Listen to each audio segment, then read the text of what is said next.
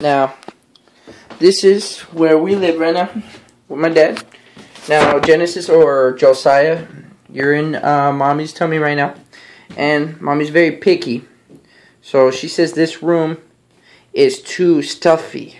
She can't breathe when she's in this room. Well, I can breathe. See, you don't. See, easy access to the restroom, and Philip's stuff is in here and you know she just she can't she can't bear it. She can't you know? So what does your dad have to do?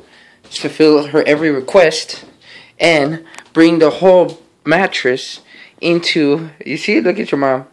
Bring the whole freaking mattress in here so that she can open the window so she can feel the fresh air. And you want to see something? Look how much the window is open Look how much the window's open.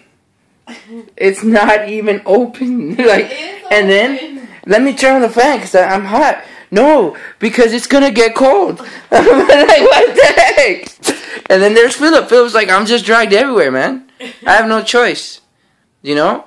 Michelle's like, you know, this tree used to be over here. But then Michelle's like, you know what? The mattress in here, you know, Philip gets lonely. Oh, so I had to bring the tree over here in the living room. Okay.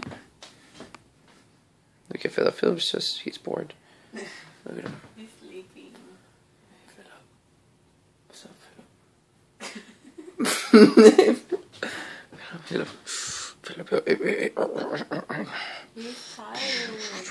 Hey, hey. Babe, he's tired.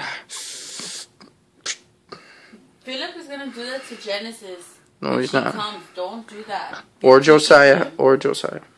Genesis. We already said it's Genesis. Okay.